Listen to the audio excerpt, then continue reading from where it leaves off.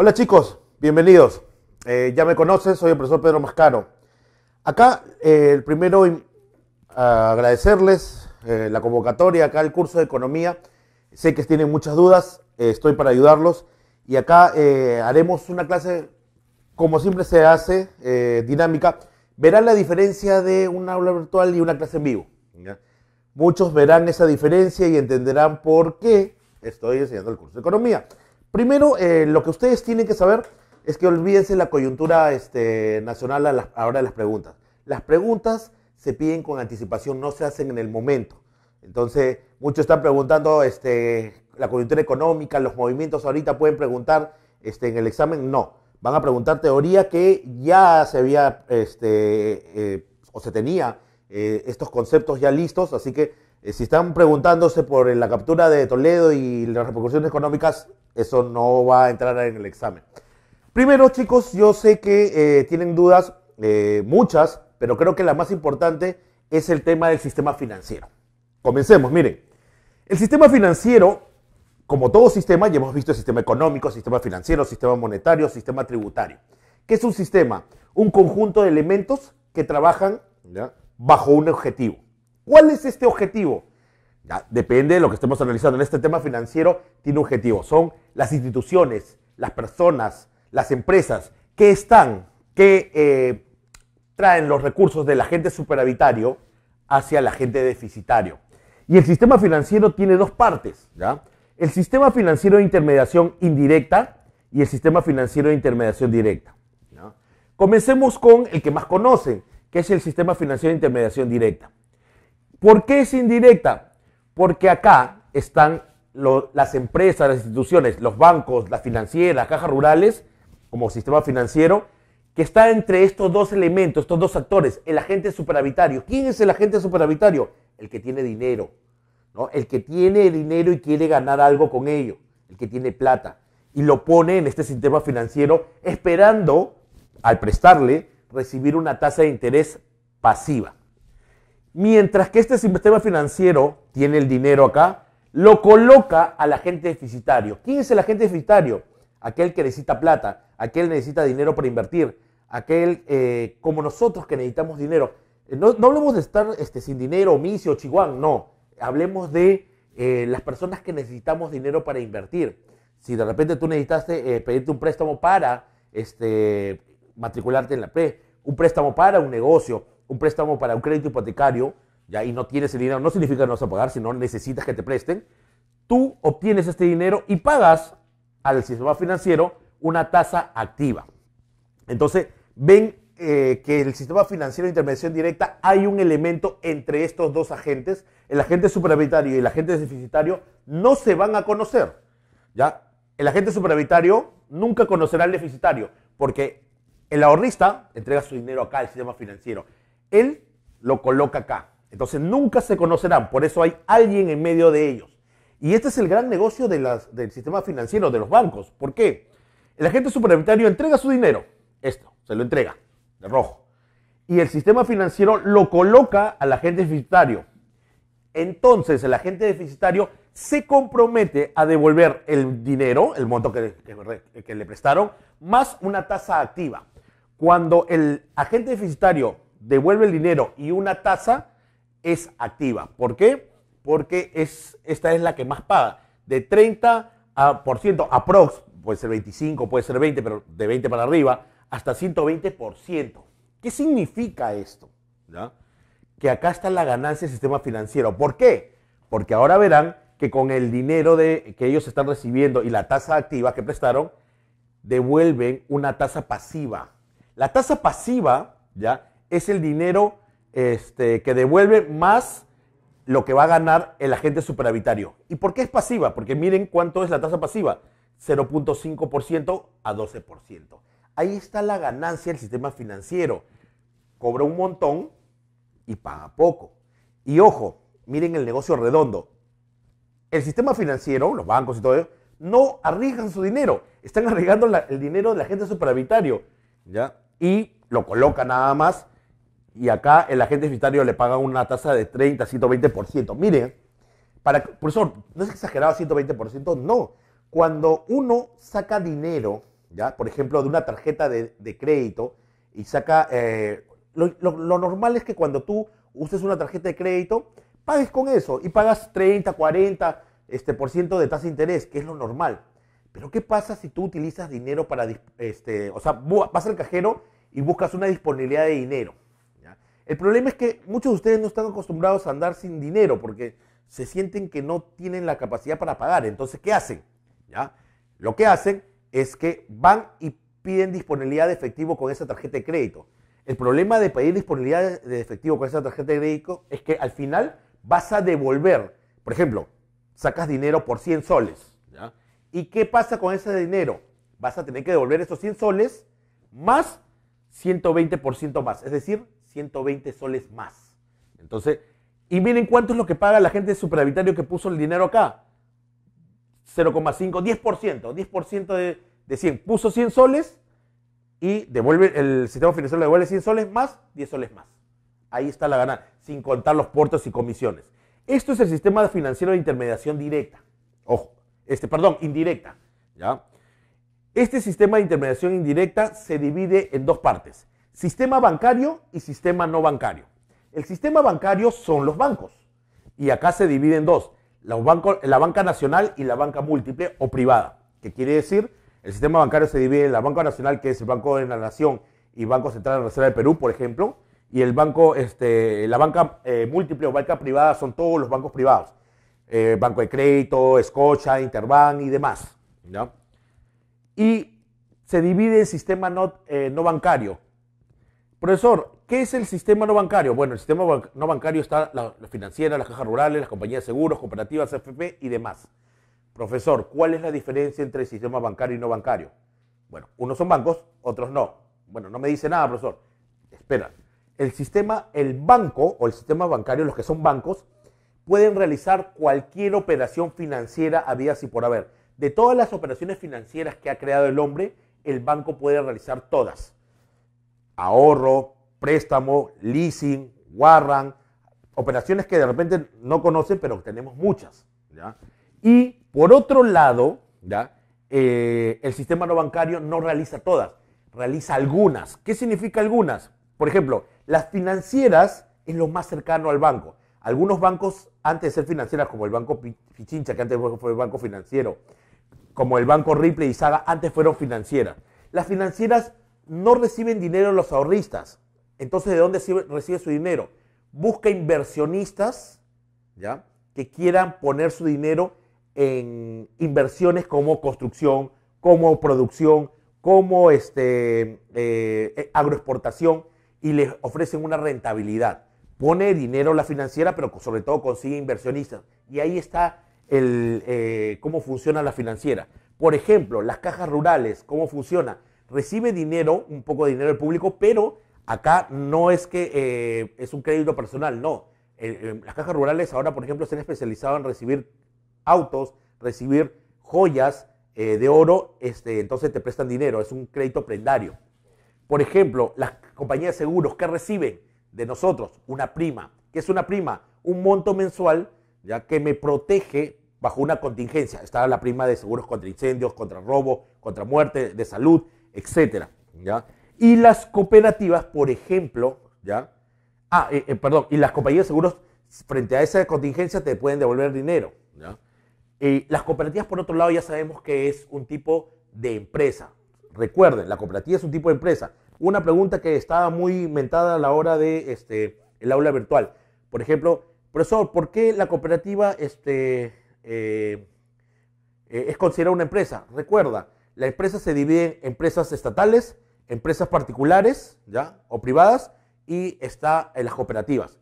Las cooperativas, mientras que las empresas estatales y privadas se guían, eh, por lo que es la ley de sociedades, son sociedades, las cooperativas son empresas pero no son sociedades. Ellos se guían por lo que es eh, la cooperativa, eh, la ley de cooperativas. Y por ejemplo, ¿qué hace la cooperativa? Acá, ¿qué hace la cooperativa, profesor? Porque sé que se dedican a muchas cosas. Acá estamos hablando solo de las cooperativas de ahorro y crédito, porque ya hablamos hablado en, los videos que las cooperativas se dedican a cualquier cosa. En este caso de las cooperativas de ahorro y crédito, ¿qué es? Un grupo de personas que junta eh, una cantidad de dinero, lo que puede, lo, lo suma y lo presta. Y obviamente cobra una tasa de interés. ¿ya? Acá eh, pasamos a la AFP. Ah, un poco para, para que no quede en, en el aire esto. Las otras cooperativas, profesor, ¿qué pasa? Las otras cooperativas las supervisa ¿ya? Este, el ministerio que le corresponde. Hay cooperativas de vivienda, hay cooperativas de pesca, eso lo ve el, ministerio que le corresponde. Acá estamos hablando solamente de cooperativas de ahorro y crédito, que según la nueva ley eh, es parte del sistema financiero de intermediación indirecta. La CFP, ¿qué recibe nosotros? Es administradora de fondos de pensiones, recibe los fondos de nuestras pensiones. Recuerden que si este, el Estado no nos obliga a ahorrar, no ahorraríamos. Y el Estado al final, si no nos obliga a ahorrar, tendría un montón de viejitos, nosotros cuando ya seamos viejos, estirando la mano pidiendo subvención y el Estado no hacer eso, por eso te obliga a ahorrar. Entonces, tú das tu dinero de ahorro para tu jubilación y estas administradoras de fondos de pensiones ya reciben el dinero, se cobran por administrar y darte una ganancia y obviamente te dan una rentabilidad. Eso es el sistema no bancario. Ya está explicado el sistema financiero de intermediación indirecta. Es un intermediador entre agente superavitario y deficitario. Ahora, la otra parte del sistema financiero de intermediación directa. ¿Por qué se llama directa? Porque el agente superavitario y el agente deficitario se conocen y no hay, nadie, no hay, ni una, no hay una empresa o institución en medio. Por eso es directa. Tanto el agente superavitario y deficitario sí se van a conocer. ¿Ya? ¿Por qué? Porque se encuentran en el mercado bolsa de, eh, en el mercado bolsa de valores. No es una institución, no es un banco, no es una financiera, es un mercado. Entonces, acá el agente superavitario sabe a quién le da la plata, a qué empresa le da plata. Y el, agente deficitario sabe a quién le da sus acciones y bonos. ¿ya? Y todo se regula acá. Por eso no hay intermediario, se llama intermediación directa. Ahora, dentro de este sistema financiero, el sistema financiero de intermediación directa es supervisada por la SBS. ¿Qué es la SBS? La Superintendencia de Banca y Seguros. La Superintendencia de Banca y Seguros y AFP, ¿ya? Lo que hace es supervisa, ¿ya? A todo este sistema financiero, a los agentes supervitarios, deficitarios, a los bancos, ¿ya? Al sistema eh, bancario, no bancario. ¿Para qué? Les explico. ¿Qué pasa si entra alguien como una de las cooperativas que no estaban reguladas? Miren, un ejemplo. Las cooperativas se, en los últimos tiempos dijeron que nadie las supervisaba porque realmente se guiaban por la ley de, cooperativas, pero no había un ente que los regulaba. Entonces aparecieron un montón de cooperativas este, en el centro del Perú, ya que era de una comunidad, y que al final supuestamente son gente que pone lo que, lo que puede para este, tener un monto de dinero y prestarlo. Pero aparecieron cooperativas que tenían un patrimonio de 140, 160, 180 millones de dólares. ¿De dónde? El problema es que muchos dicen, no se comprueba, porque no, había quien lo supervise, que estas este, cooperativas nacieron de la minería ilegal. Algunos hasta aseguran que es narcotráfico, pero como no eran supervisadas, no se sabía de dónde era el funcionamiento y de dónde iba ese dinero. Entonces, este año se reguló a través de la ley, la SBS ahora supervisa a las cooperativas de ahorro y crédito. Les dio un plazo hasta eh, mayo para que todas las cooperativas de ahorro y crédito se afiliaran y entregaran información a la SBS para ver si los fondos solícitos, dónde está poniendo, si son cooperativas que si quiebran, dónde va a estar el dinero, eh, eh, ese dinero está respaldado por un encaje bancario, por ejemplo, no. Entonces, todo esto hace la SBS, ve que no haya, por ejemplo, eh, algunos conocen o no saben de CLAE, fue una empresa que en los años este, 90 eh, comenzó a prestar plata y pagar tasas de intereses altos. Pero lo intervino el Estado, pero no había la SBS, pero lo intervino el Estado y al final no tenía fondos para devolver a la gente. Para evitar eso, para evitar que eh, un banco quiebre y no tenga dinero, la SBS supervisa. Hace muy poco, hace cuatro años, apareció una cooperativa, eh, este señor de Lunen, ya, de Pisco. Yo me acuerdo porque quise poner mi dinero ahí, ya, y este, quise llamar por teléfono y poner mi dinero y me dijeron que no estaban recibiendo dinero. Y a los pocos meses la SBS lo intervino para, para salvaguardar el dinero y se le devolvió el dinero a todos. Las, SBS supervisa al sistema financiero de intermediación indirecta. Ahora, la SMB supervisa al sistema financiero de intermediación directa. ¿Qué es la SMB? La Superintendencia de Mercado de Valores. Antes se llamaba CONACER. ¿Qué evita la SMB? Que exista lobo de Wall Street. ¿Vieron la película de Wall Street? ¿Vieron a DiCaprio? Todas las cosas que hacía DiCaprio es lo que debe evitar esta superintendencia de, eh, mercado de valores. ¿Por qué? Tiene que eh, ver que el, agente superavitario no tenga información privilegiada. Tiene que ver que el agente deficitario, estas empresas, pongan sus estados de cuenta, estado de ganancias y pérdidas, su, balance general, que la información que, ponen acá en la bolsa de valores sea fidedigna para poder yo tomar decisión. Eh, digamos que tienes dinero y quieres comprar acciones y bonos. ¿De qué empresa? Ah, profesor, quiero comprar de Amazon. Pero ¿cómo sabes? ¿Sabes que el, dueño de Amazon se va a divorciar y que la mitad de, sus acciones va a caer?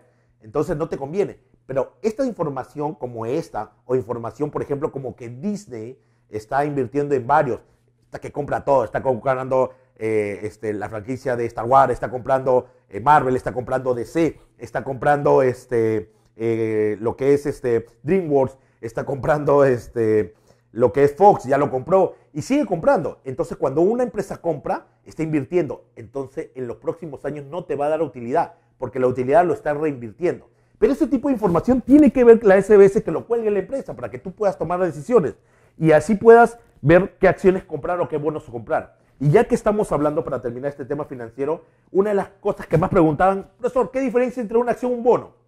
Una acción te hace co-dueño de la empresa, estás comprando una parte de la empresa. Entonces, como compras una parte de la empresa, ¿ya? te haces acreedor a las utilidades. Cuando esa empresa, a final de año, de utilidades, ¿ya? dependiendo del porcentaje de acciones que tengas, por ejemplo, tú tienes el 10%, del 100% de utilidades, el 10% de utilidades es tuya. Entonces, lo que recibes es una rentabilidad ¿ya? Este, de tipo variable. ¿Por qué, profesor? Si, si me va a dar utilidades todos los años, ¿tú cómo sabes que la empresa te va a dar todos los años utilidades? O que te va a dar el mismo monto. Por eso es variable pero te da una utilidad ya si la empresa tiene ganancias. Ahora, ¿el bono qué es? El bono es un préstamo nada más. El problema es que el bono se da porque este agente deficitario ya colmó su crédito en el sistema financiero de intervención directa, digamos el banco, o quiere, quiere obtener un este, dinero más rápidamente, es la bolsa de valores, y emite un bono. ¿Qué te dice el bono? Oye, yo te vendo mi bono de 10 mil dólares, ¿ya? Tú me lo das, y yo te devuelvo los 10 mil dólares a un mediano o largo plazo. 5 años, 4 años, 10 años, 20 años, pero te pago una tasa de interés por encima del mercado, por encima de los bancos. El banco te paga 12%, 15%. Yo te prometo pagar 25, 30%, pero a largo plazo. Mientras más largo el plazo, eh, las tasas de interés son mayores. Entonces simplemente es un préstamo. Tú después de 10 años, ¿ya? Eh, vas a pedir tu dinero. Yo te devuelvo los 10 mil que me prestaste, más esa tasa de interés, que es muy buena, que está por encima del mercado. Esa es la diferencia entre acciones y bonos. Muy bien, creo que en el sistema financiero lo puedo englobar y está muy claro. ¿Ya? ¿Algunas preguntas? Denme un minuto, chicos.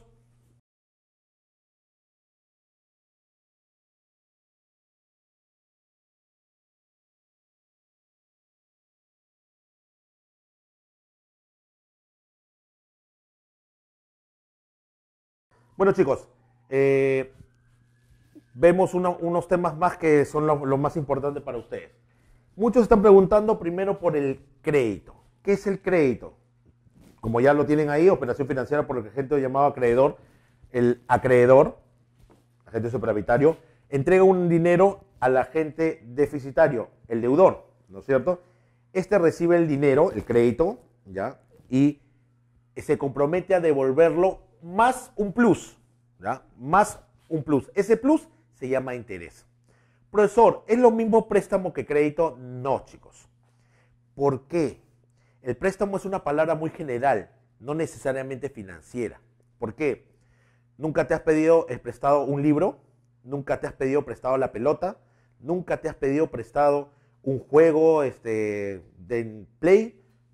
¿Qué significa? Me prestas el objeto y yo te devuelvo el objeto, no más. Lo que ustedes han dicho, por ejemplo, un día que te faltó dinero es, este, por favor, ¿puedes prestarme? Eh, para el pasaje se me cayó el dinero, te presta cinco soles y el día siguiente le devuelve cinco soles. Eso no es préstamo. El crédito es eso más, ¿ya? Una, una un interés, o sea, un plus. Sin ese, ese interés, ¿ya? No hay crédito.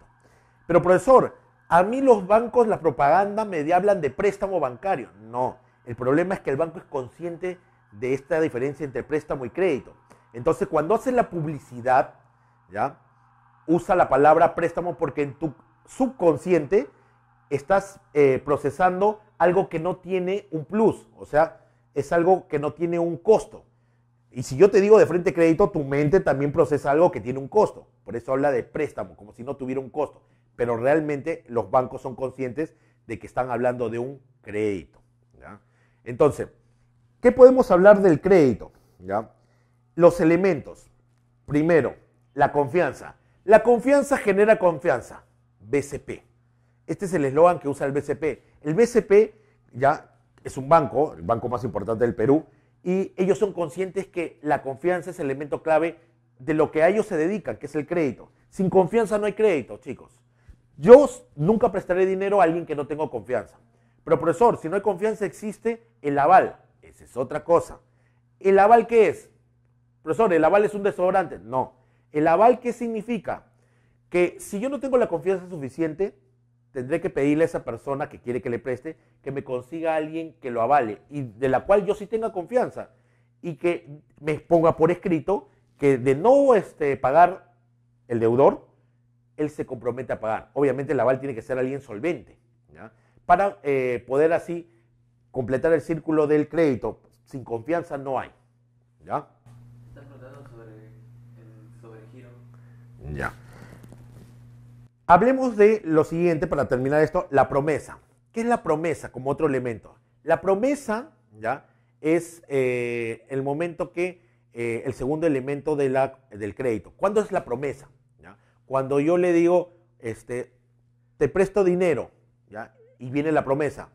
Te juro por Diosito que te devuelvo. No, pues, las palabras se lo lleva el viento. Tiene que ser un documento donde yo me comprometa a devolver el monto con la tasa de interés. Recuerden, el documento es lo que pesa. El tiempo, el tiempo vale más que dinero. Interbank. Interbank utilizó también este elemento porque el tiempo es muy importante.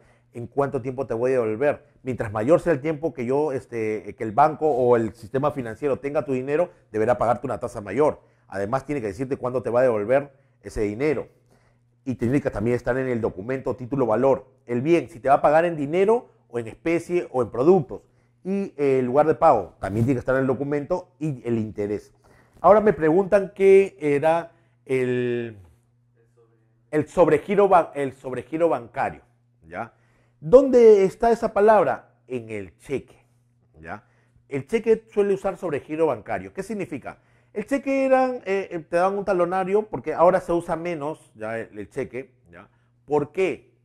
Porque Ahora todo se hace por eh, transferencias bancarias. ¿Pero qué es un sobregiro bancario?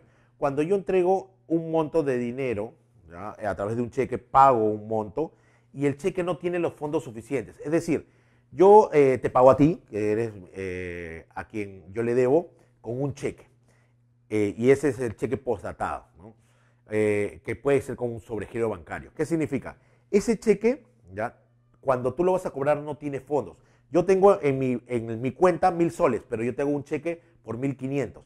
Entonces el sobregiro bancario es cuando el, banco te completa este monto. O te llama o ya eres su cliente y ya te completa automáticamente, ¿ya? O te llama y te dice, mira, tienes mil soles en tu cuenta y están viniendo a cobrar un cheque de mil quinientos. Yo te completo el dinero, pero el completar dinero significa que te estoy prestando y te prestan a una tasa de interés. O sea, te están prestando dinero. Ese es un sobregiro bancario porque estás eh, pidiendo una orden de pago eh, por un monto superior al monto que tienes en tu, en tu cuenta corriente. Ahora viene lo siguiente, ya vimos el crédito. Vemos el versus de letra de cambio versus el pagaré. Lo leen y parece lo mismo. Sí, pero hay una diferencia. ¿ya? Eh, tengo, yo le debo a A y le debo a B. A me comprometo a pagarle con un, firmándole un pagaré. Y a B me comprometo a pagarle firmándote una letra de cambio, un LC. Los montos son iguales. 5 mil dólares. 5 mil dólares. La primera diferencia es que quien llena el pagaré, el documento pagaré, acá es el deudor. El deudor llena documento. En cambio, quien llena eh, la letra de cambio es acreedor.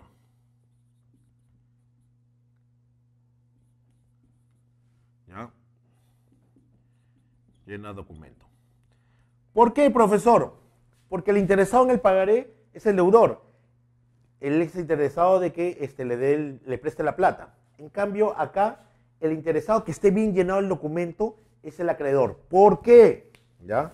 ¿Por qué? Les voy a explicar por qué. Porque la razón está en, en la segunda diferencia. La segunda diferencia es que esto es, yo le debo a, y si A necesita cobrar antes los 5 mil, y hablemos de un periodo de seis meses para ambos, ¿ya? Que me voy a demorar en pagar, y A tiene una urgencia de cobrar estos 5 mil a los cuatro meses, ¿ya? Esta es una deuda intransferible.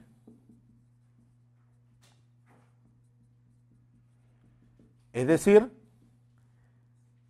es solo de dos actores. ¿Quiénes son dos actores? ¿Quiénes son estos dos actores? Su profesor, la gente este, deudor y la gente acreedor. En cambio, en la letra de cambio, esta es una deuda transferible y negociable. ¿Ya? ¿Por qué?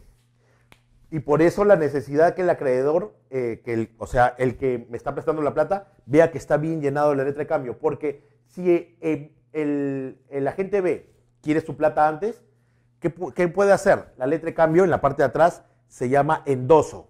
Pone su nombre, dice, yo fulanito tal B, firmo y cedo esta deuda a otro. ¿A quién? A un C, a otra persona. Ese es endosar. Y la otra persona firma y llena. Y ya yo no le debo a B, le debo a C. Entonces, es algo más. Por eso el acreedor quiere que esté bien llenado. Porque si el documento está mal llenado, no se puede transferir. Entonces, por eso la necesidad de que el acreedor llene el documento. ¿ya? Acá, si tiene algún error, al final es entre dos personas y se va a devolver entre estas dos personas. ¿ya? Entre a y yo. En este caso, eh, eh, B necesita el dinero antes y se lo vende a C. Obviamente C le va a pagar un poquito menos porque tiene que ganar. Para que cuando eh, digamos que le paga 4.800, entonces 200 va a ganar. Y yo ya no le debo a B, le debo a C. Y C puede vendérselo a D, se lo puede volver a endosar a otra persona. Y D se lo puede vender a una empresa. Y la empresa puede vendérselo a un banco. Entonces, este documento es más transferible, es más negociable. Esa es la diferencia entre pagaré y letra de cambio. Ahora, me están preguntando sobre este, el ingreso, ingreso frente a consumo, frente a ahorro, frente a inversión. Por ejemplo, consumo. ¿Saben chicos? Eh, digamos ahorita, digamos que tienen, eh, todo lo que tienen de repente es la plata que eh, tienen en su bolsillo. Que me imaginario puede ser 10, 20, 30 soles, 100 soles en el mejor de los casos, no creo que tengan más. Y quiero que entiendan una cosa. El Play 5 se ha adelantado. ¿Qué significa? Que el Play 4 estaban vendiéndolo, ¿saben? en oferta, es un ejemplo, ¿ya? lo están vendiendo en 100 soles. Profesor, qué buena oferta, pero no tienes esos 100 soles a disposición, así que no puedes acceder a ella. Ahorro. El banco Pichincha para aumentar sus afiliados ha aumentado la tasa de, eh, interés que paga pasiva en 60%, siempre y cuando mañana, solo mañana, abras una cuenta de ahorros por mil soles. Profesor, no tengo. Ah, no puedes acceder a ese ahorro. Inversión. Si tú este, me das tu plata, eh, unos mil soles la próxima semana, yo lo voy a invertir en hacer negocios por los panamericanos acá cerca de San Marcos. Y te voy a pagar, ya, por esa plata, 40% de tasa de interés. Profesor, es un buen negocio. Sí, pero no tengo la plata. Entonces, tanto el consumo como el ahorro con la inversión, la oferta puede ser extraordinaria. El ahorro y la tasa de interés puede ser buenísimo. La inversión puede darte una utilidad grandiosa. Pero ninguno de estos subirá mientras que tu ingreso no aumente. Si tienes ahorita dinero y ese dinero ya está repartido en tus gastos, en todo lo que haces, no tienes extra ni para consumir más, ni para ahorrar más, ni para invertir más. Y si tu ingreso disminuye, con menor razón esto. Entonces tiene una relación directa. Tu ingreso sube, puede subir tu consumo, tu ahorro o tu inversión. Este es el mes, julio, el de la, el de la gratis. Entonces, en este mes donde hay más dinero, más ingresos porque recibes un sueldo más, tu consumo aumenta. Acá es donde compras eh, enseres, juguetes, bienes, te vas de viaje, consumes más. Este es un momento donde la gente ahorra, guarda, guarda dinero en el banco porque tiene este extra, ¿ya? Este es el mes donde inviertes, ¿ya? Compras máquinas porque tienes una disponibilidad mayor de dinero, Muy bien, entonces pasamos rápidamente al otro concepto que tiene muchas dudas, la teoría cuantitativa del dinero. La teoría cuantitativa del dinero muestra esta fórmula, MB, M por B por PT. ¿Qué significa M? La masa monetaria. B, la velocidad de transacción. ¿ya? Entonces, P es el precio de los productos ¿ya? y la transacción que hay eh, de estos productos. ¿Qué significa eso? M, ¿Ya? M es la masa monetaria, es todo el dinero que tienes tú en tu bolsillo, en tu chanchito, debajo de tu colchón. Tu papá lo tiene en su cuenta, yo lo tengo, todos los peruanos. Imagínense que es todas las monedas, venimos acá a San Marcos y juntamos todos los billetes y monedas y lo ponemos en el estadio.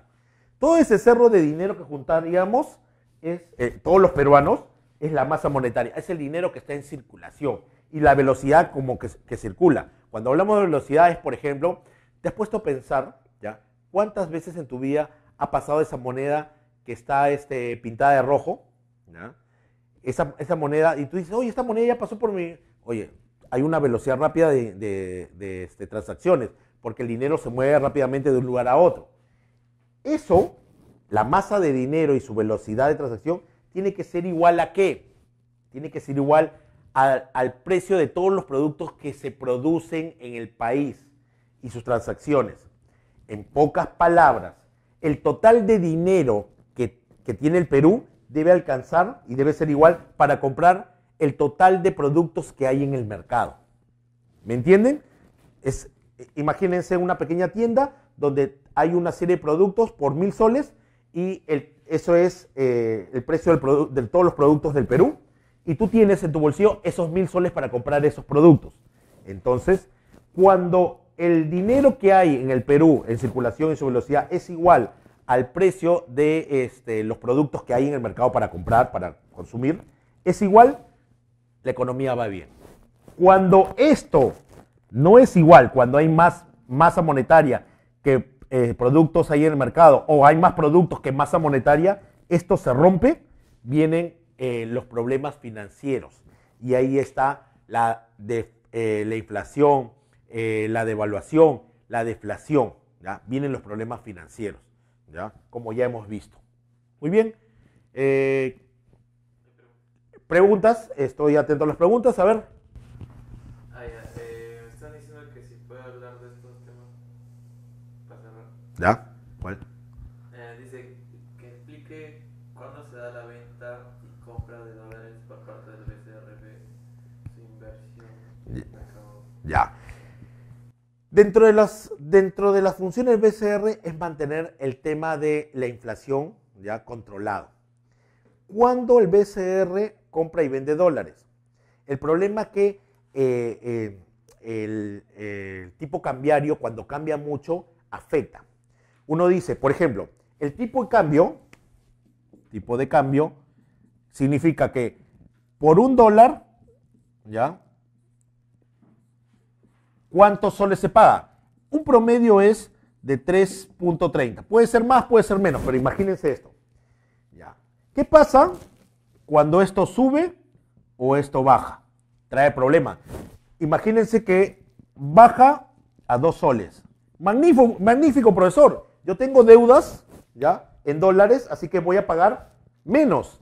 Sí, a ti te conviene, pero al quien le debes, a esa entidad bancaria, a ese prestamista, a él no le conviene. Entonces, el valor de su dinero este, se ve disminuido. ¿Y qué es lo que pasa? Trae problemas financieros, porque él no puede perder, entonces sube eh, el precio de sus productos, sus servicios, ya sea el banco. Si ve esto, el banco se ve eh, con, este, con esta disminución, va a aumentar la, la, tasa, la tasa activa, va este, a cobrarte portes y mantenimientos. Y cuando suben las cosas, suben los precios. No, no conviene esto. Ah, profesor, entonces lo que conviene es que suba, que esto sea 4. No te conviene porque al final estás pagando más.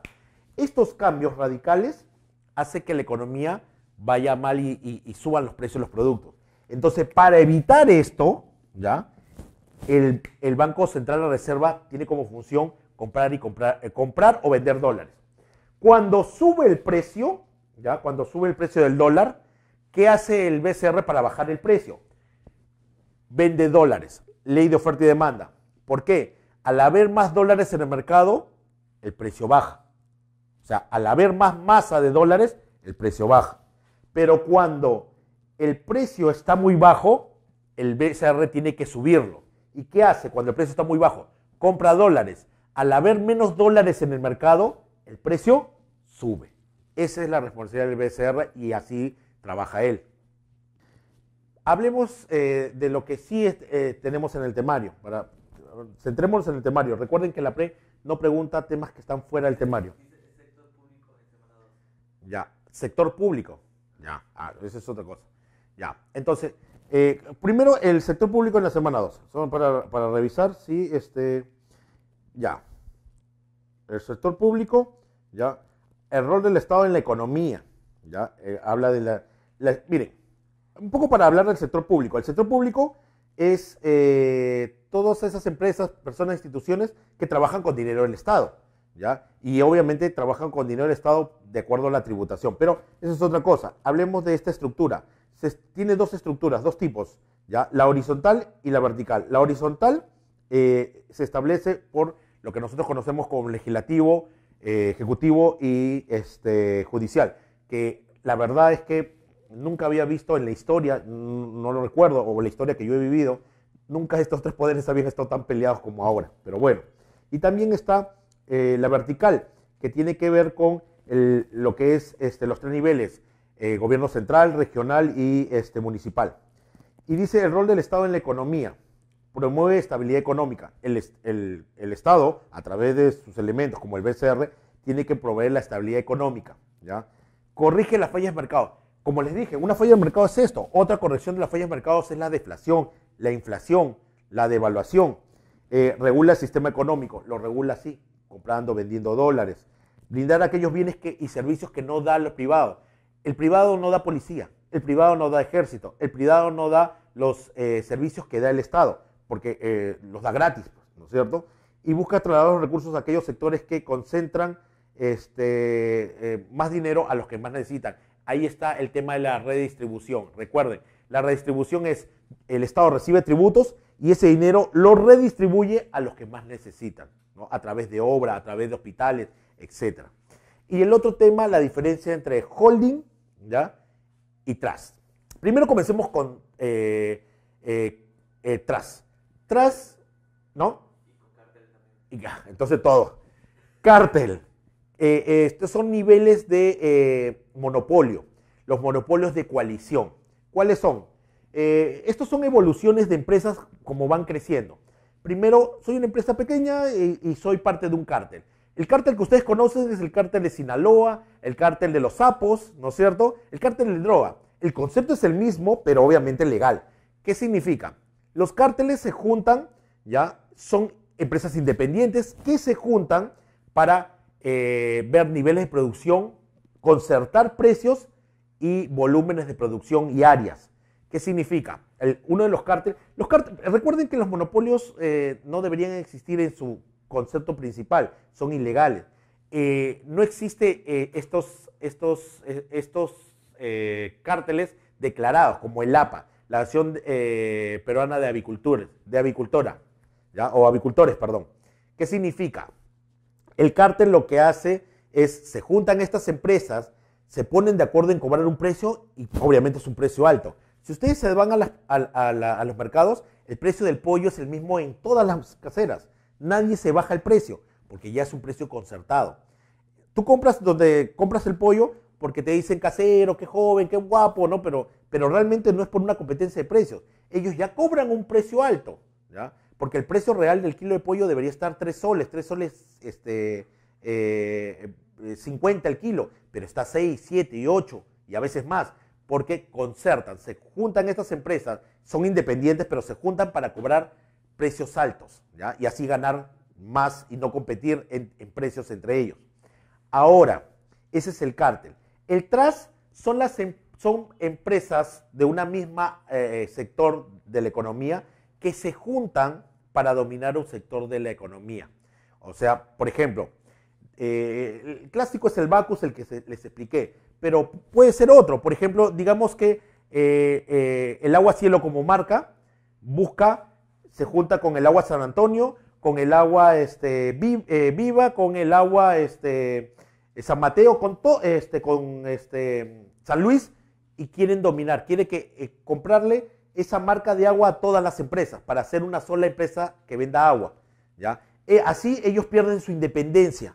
¿Y por qué pierden su independencia? Porque quieren ser una sola empresa que domine el mercado, para que ninguna otra empresa venda agua, solamente estas empresas que se han juntado y se, se, eh, se subordinan a una empresa mayor, para controlar el mercado de aguas. Lo mismo pasó con el de cerveza.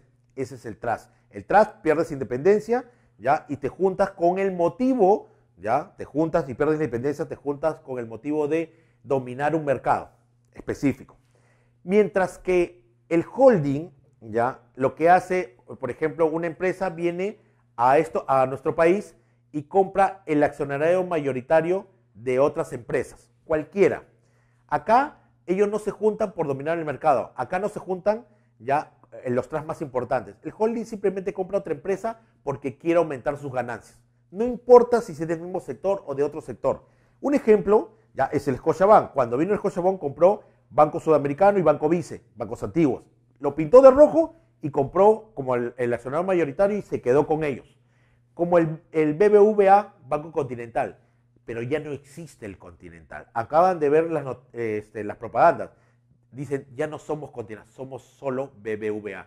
Lo que pasa es que ya pasaron 20, 25 años los clientes antiguos ya murieron, ¿ya? O ya se han jubilado. Ustedes que son los clientes nuevos, no les importa si se llamaba Continental o no. Lo que, les, lo que antes ponían el BBVA, ¿qué significa? Banco Bilbao Vizcaya. Entonces, sea Continental o BBVA, esta empresa, que es un, es un banco internacional, vino al Perú y compró el Banco Continental, que era el banco de, una de las familias poderosas del Perú, que es los Brescia. Compró el, accionariado mayoritario, o el total pero los compró y esto mismo hizo en Chile, en Brasil y compra bastantes empresas de distintos rubros, pero no eh, eh, la diferencia entre el es que no quieren dominar un mercado, simplemente quieren comprar empresas para aumentar sus ganancias y pueden ser empresas distintas, puede, haber comprado bancos acá y una empresa de helados en otro país, puede comprar una empresa de transporte en otro país y también una empresa de este, cerveza, etc. En cambio, el conglomerado ya es otro nivel. Acá se conjuntan los tras más importantes de varios eh, sectores económicos y se subordinan a un grupo económico. ¿Qué significa? Eh, acá tienen ejemplo el grupo eh, Romero o grupo Crédito. El Banco de Crédito, el banco más importante del Perú, pero también tiene la empresa de alimento más importante que es Alicor. También tiene el FP número 2. También es una empresa que exporta este, alcachofas y espárragos a nivel mundial, es la número uno tiene, eh, eh, es envasadora de eh, alimentos congelados, la número dos, tiene constructora, pesca es la número uno, tiene bastantes empresas que son los tras número uno de bastantes sectores. Por ejemplo, también está el, conglomerado de lo que es Intercorp. El grupo Intercorp tiene este, las cadenas de Arcángel, las cadenas de farmacia, todas las cadenas de farmacia. Tiene Bembos, tiene universidad, tiene colegio, este, Innova School, tiene este, banco, tiene financiera, tiene este, eh, AFP, etc. Un montón detrás, más importante, de diferentes rubros que se subordinan a un grupo económico, el grupo este, Intercorp. ¿ya? Y las transnacionales son las empresas que tienen sede en varios países. Cuando digo varios, es varios. La empresa que se acerca más a las transnacional, aunque ustedes no crean, no es con la Real, es el grupo Belcor. ¿ya? Y ya saben a qué se refiere Belcor, todo lo que es este, eh, belleza acá en el Perú. ¿ya? El grupo Belcor tiene 26 sedes, mientras que el grupo Real tiene 22 este, eh, sedes fuera del país.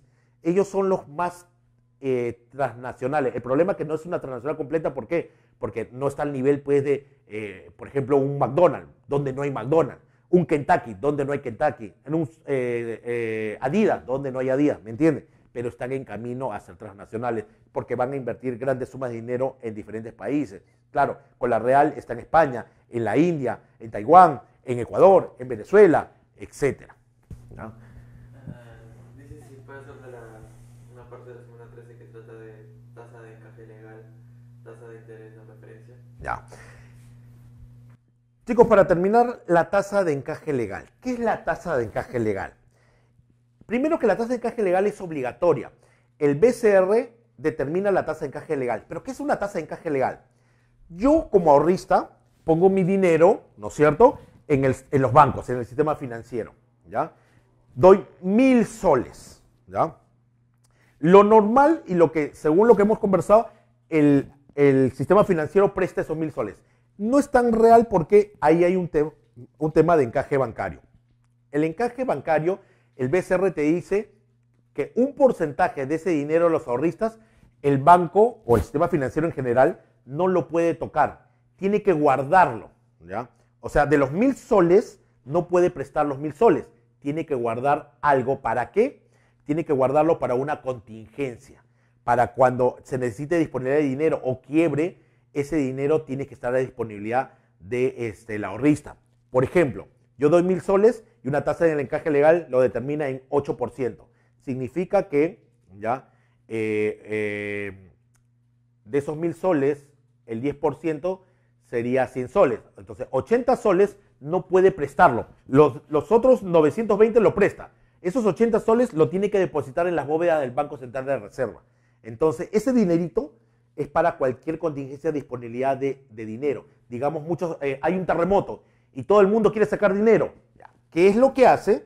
Va al banco y el banco, como también no tenía disponibilidad porque todo el mundo está pidiendo el dinero, va al Banco Central Reserva que ese dinero no lo prestó, no lo utilizó, no lo puso a trabajar y le devuelve y hay disponibilidad de devolver en ese momento dinero. Eso es el encaje legal, es obligatorio. En cambio, la tasa de referencia, como su nombre dice, no es obligatorio, es una tasa de referencia te dice cuánto debería ser la tasa pasiva y la tasa activa que deberían cobrar los bancos. ¿ya? Si te dice que la tasa activa o pasiva debe aumentar o subir, también son políticas de Estado que hace el Banco Central de Reserva. Cuando las tasas de referencia este, bajan, significa que este, las, tasas bajan, eh, cuesta menos para los bancos prestar. Eh, entonces, hay más dinero para el consumo. Entonces prestan dinero. Tiene una relación inversa. Entonces, es, esto no es obligatorio. El, Banco Central Reserva pone estas tasas y el banco más o menos lo toma como referencia para su tasa activa y pasiva, lo que va a cobrar.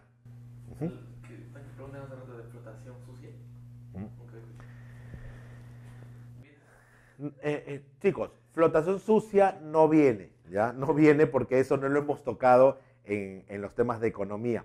Es un tema bien financiero y, bien eh, de cursos como el que dicto finanzas corporativas. Estamos hablando de eh, eh, el dinero que está en el mercado por el tipo cambiario, pero no se preocupen, eso no viene en el examen. Una última pregunta.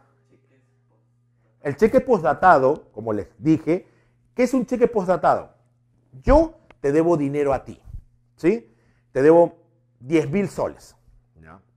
Pero yo sé, y, miren, hoy día estamos jueves, yo sé que en mi cuenta solamente hay dos mil soles, ¿ya? Y yo te firmo un cheque y te digo, oye, por favor, te voy a poner fecha de lunes, ¿ya? Te voy a poner fecha de lunes. Lo que significa que este cheque no lo vas a poder cobrar aunque quieras hoy, ni mañana, ni el sábado, sino hasta el lunes, porque tiene fecha el lunes. Nadie te paga, ningún banco te paga un cheque con fecha posterior. Lo pagan la fecha que dice. ¿Y por qué es postratado? Porque te estoy dando con fecha posterior. Me está, tú estás accediendo a que yo te dé un cheque y tú esperes un tiempo. Entonces, yo ya sé que el fin de semana me van a depositar más dinero en mi cuenta. Entonces, para el lunes ya hay fondos y ya puedes cobrarlo. Por eso el cheque postdatado es un préstamo, ¿no? Eh, ojo, no hay tasa de interés, hay un préstamo nada más. Yo te firmo el cheque como si te estuviera pagando hoy, pero realmente te estoy pagando el lunes. Ese es un cheque postdatado. Bueno, este, Para cerrar, para cerrar, que diga las fijas. las fijas. Muy bien. Miren chicos, eh, eh, voy a explicarlo en vivo. ¿ya? Las fijas es estudiar, pero sobre todo, miren, eh, eh, ¿qué puedo darles como tip? ¿ya?